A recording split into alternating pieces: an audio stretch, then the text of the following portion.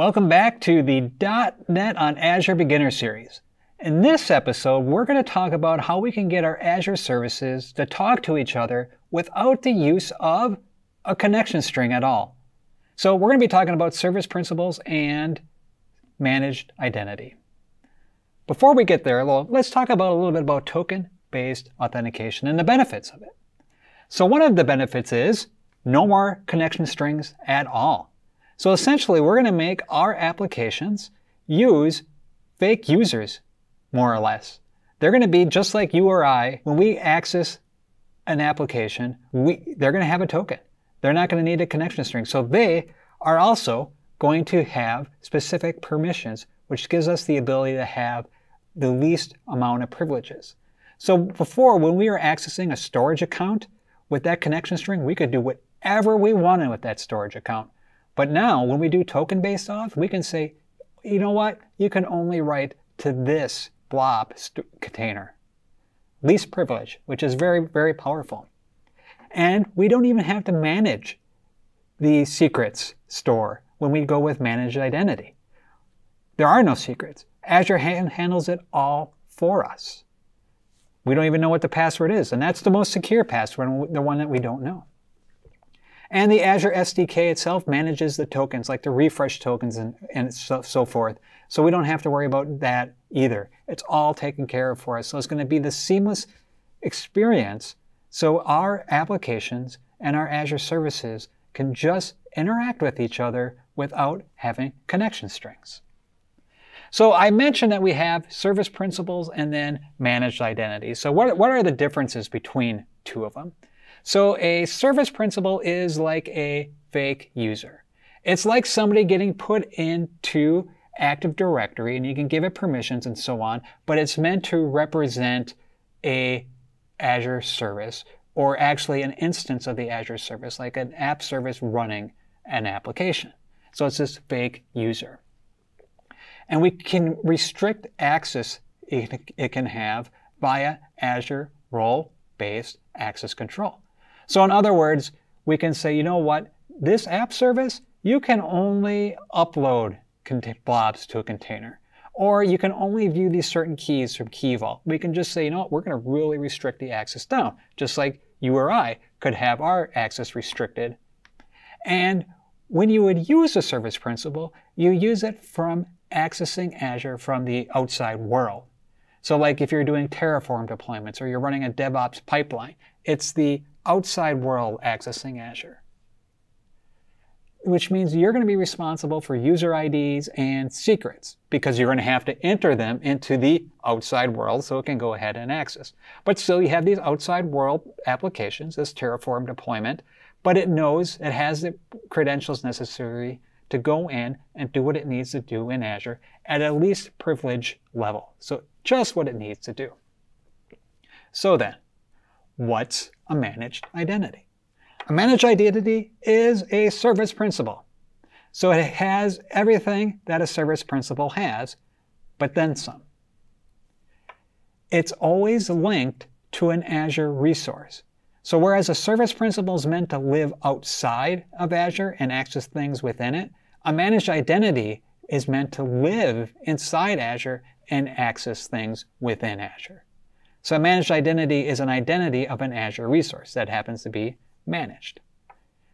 So you don't need to know the credentials at all of it. Whereas for a service principal, if you're doing a DevOps pipeline, you would have to enter credentials in order to access Azure. Because things live within Azure, you don't need to maintain those credentials. Let Azure do it for you and it's going to be system assigned. So when I go through, I can just say, you know what, create me a service principal, and then everything gets assigned for me, managed, and then when it gets deleted, when I delete my resource, the service principal gets deleted, or the managed identity gets deleted for me. There is another type of managed identity though, and it's called a user assigned one. So when I create a user assigned managed identity, it is its own standalone resource too. And what's neat about a user assigned identity is I can go through and attach that user assigned identity to many different Azure resources. So let's say I have, I know I want this identity to be able to write to this blob storage. So I can give this user assigned identity, I can assign that to many different app services. So I don't have to create a system assigned identity for each one of those app services and grant those permissions. I can just create one user assigned identity and make those app services all have that same user assigned identity. So you can either do system assigned or user assigned. It's your choice. So let's then see our managed identity at work. So what I want to do is I want to take our Azure web service, the one that takes the storage and puts it up there, and I want to drop that connection string altogether. I don't want to use our connection strings any longer to get at the storage. And over on the web API side, I don't want to have that Azure SQL Server connection string there either. I want to use managed identities for everything. So let's do that. I'm going to open up the Azure portal go into my resource group, and then pick out the app service that I want to use. And so I'm using the app Munson Web East US Dev 001. Scroll on down to Identity. Once Identity finishes spinning up, you can see that I have a system assigned identity or a user assigned one. I'm going to use a system assigned one. Click that to on, click save, and it's saying, you know what, you're going to do it. That is true, I do want to do it. And it's going to go through and it's going to enable the system assigned identity for me. And once that's done, it's going to give me a, a GUID for a principal ID, and then let me assign permissions had I want to right away from here. So this is the web service, and the web service needs to be able to access the storage service. And so what I want to do then is go down, find my storage account, found it, and then give permissions to that storage account to the web service. And I can do that through the access control menu on the left-hand side. And uh, across the top, I have various things where I can check the access and see role assignments and also see various roles. And so the various roles are interesting. So if I go through and I pick the roles for storage accounts, I can then see the fine-grained access I can give it. So I could say, you know what, I could assign something to be, you know, just reader and data access, or a storage account contributor, or it's maybe a storage blob data owner or a data reader. So it's fine-grained access control. So that's what I want to do. I want to add a role assignment. And once that spins up, I'll be able to say, for that role assignment, I'm going to assign my brand new managed identity account. Okay, so it came up. And so what I can do now is pick, again, the storage category. Open that up so I can see what I'm working with. I'm going to go pick through storage, blob, data, contributor, hit next. And then I'm going to say, you know what, I want a managed identity. And allows me to pick it. And then I can see, you know what, it shows me everything I've already have created. I'm just going to pick an app service. And then I have various app services here, so I know I'm going to want an app Munson, so I should be able to filter it for me. So app Munson Web East US Dev 001.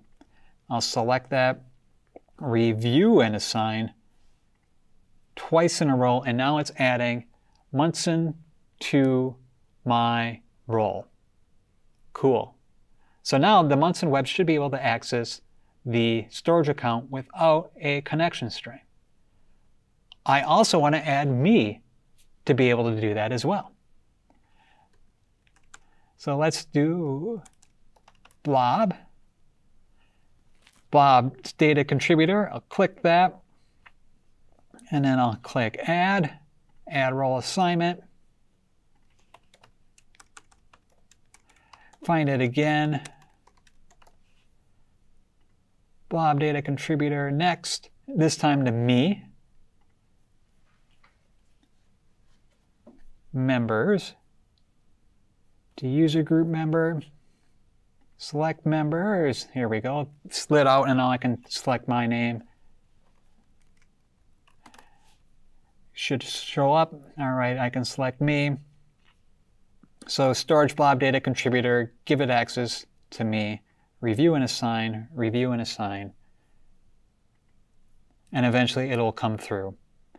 And then if I go through underneath role assignments, it shows everything. But I should be able to go down and I see now blob storage data contributors, I see my app, and then I see me. Why is it important to add me? Because now when I go through down to my Munson Pickle web app, I can actually set things up so I don't need the storage connection string at all when I do my development.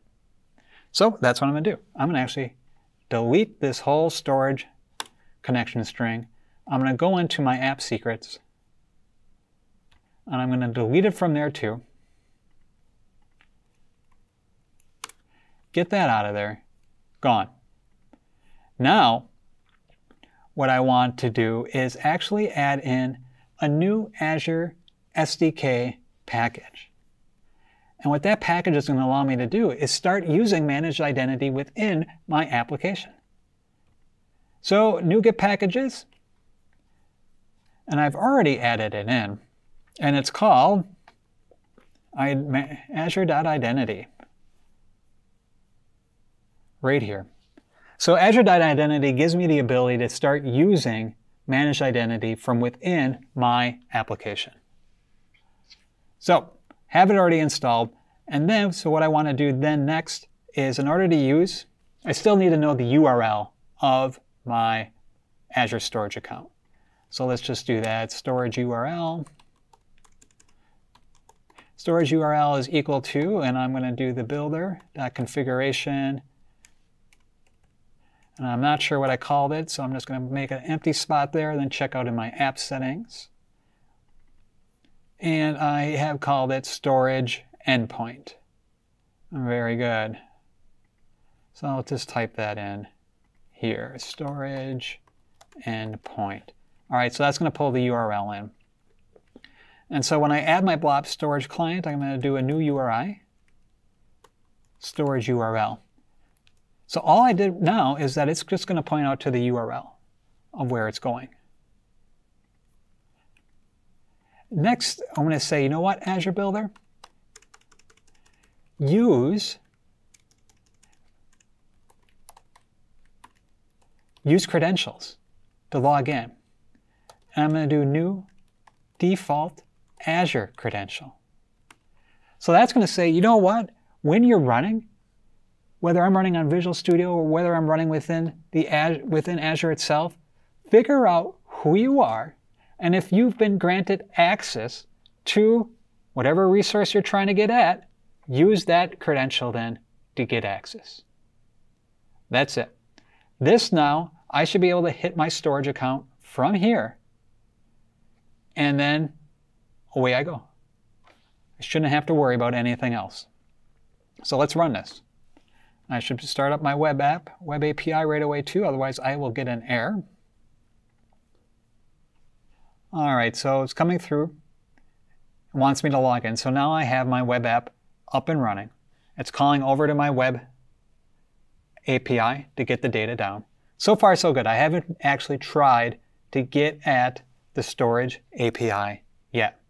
So when I do get at the storage API, and that's going to be in my write review component, all the way down at the bottom. I get the blob service injected into it. The blob service, when it gets injected into it, comes from the program that's CS, and that's when I start doing my Azure, clients, when I start doing that. Add blob service client, use credentials. I'm not using any connection strings. It should just work. Cross your fingers. Do dill pickles add a review, choose a file. We'll do beet this time. As soon as I choose the file, it hits my breakpoint, and I'm good to go. If I step over the top, Everything's in there.